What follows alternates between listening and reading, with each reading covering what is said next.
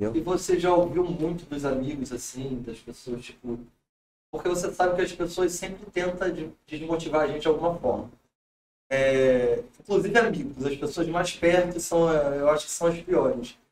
Claro, tem aqueles que dizem, vai lá, mano, vai, é teu sonho, realiza, faz, acontece. Mas sempre tem aqueles que dizem, pô, mano, desiste disso, não vai dar certo. Como é que você lida com isso? É, por algum momento você já pensou em desistir do que você faz, porque as pessoas disseram que não daria certo?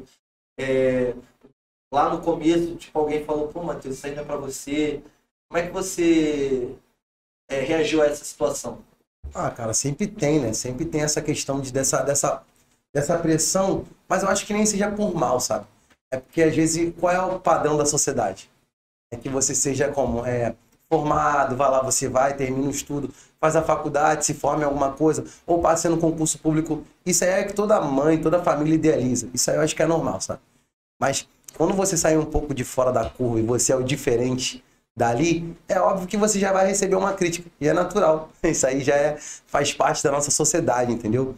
Mas, cara, graças a Deus, eu, claro, já pensei em desistir diversas vezes. Até hoje eu penso em desistir. Porque não é fácil, é que eu tô te falando, não é fácil. Mas a gente sempre bota na cabeça que é o amor, mano. A gente ama, sabe muito bem como funciona. A gente ama a música. A pessoa pode falar o que quiser, cara, entendeu? Mas infelizmente, às vezes não vai conseguir, mano. É o que a gente quer da vida. A gente sonha com isso. A gente almeja sempre estar tá trabalhando mais e mais com tudo isso, sabe?